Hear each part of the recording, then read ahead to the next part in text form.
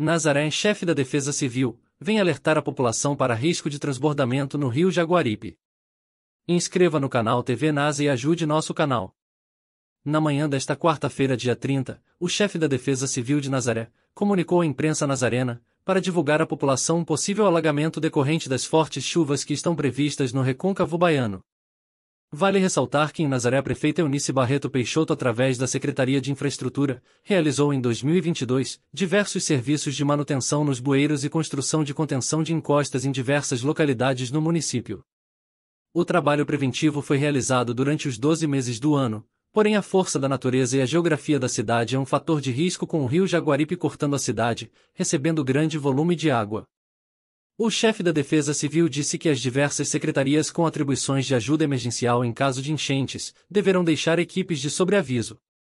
Pois há risco de transbordamento do rio Jaguaripe.